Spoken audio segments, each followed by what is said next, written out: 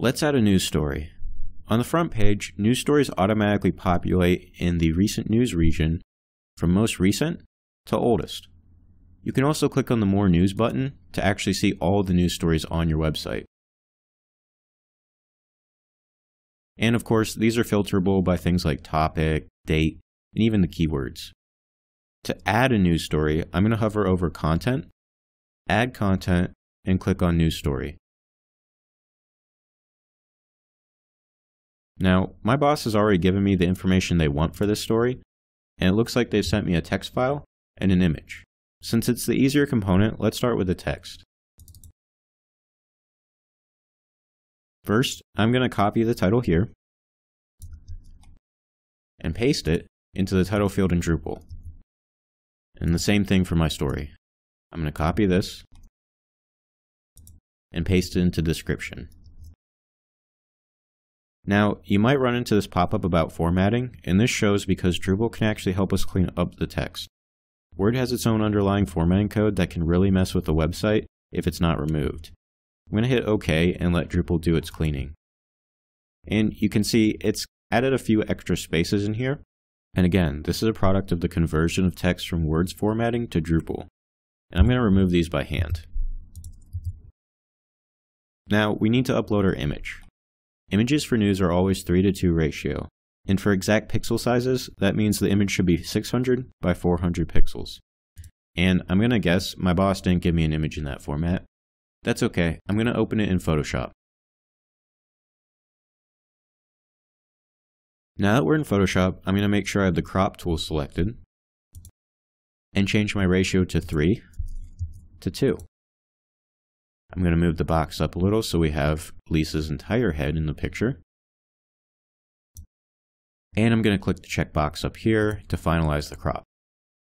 Now the most important part, and please do not skip this step, is exporting at the right image size. I'm going to go to File, Export, and Export As. I want to make sure the format is set to JPEG and the quality to 75%. And this provides a good balance between image size and quality of the image. I'm going to set my width to 600 and the height should automatically change to 400. Now if I click out of this, you may notice it changes to 602 and in your images it may change to 399 for height, 601, something like that. It doesn't have to be exact.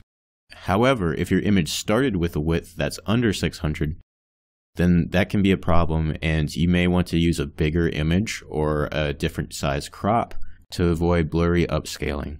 I'm going to hit export all and I can choose where to save the file and how to name it. And for me, to find this easier in Drupal later, I'm going to name it based on its location in the site, so news, and then the subject. So this is Lisa May. I'm going to hit export. And if I close Photoshop, you can see we have our second cropped image right here. I'm going to head back over to my site and hit select images. And here I'm going to go to upload images. And I can either drag and drop the file directly onto this gray area or hit select files and choose my image. It'll show up underneath, and then I need to add an alternative text or description. As you can see under here, it says short description of the image used by screen readers and displayed when the image is not loaded. This is very important and it is required. However, for Lisa here, just because it's just an image of her, I can put in Lisa May. Hit select images, and our image has been added. Down here you may notice taxonomy or filter items. If you have categories your news can be organized into, you can select them here. You may not have them and it's not required. I'm going to select academic and announcement for this story and then hit save. As you can see, my news story shows up right here. If I go out to the news page, it's going to be the first one because it's the most recent. And all the way out on the front page, in our recent news section, we have Lisa.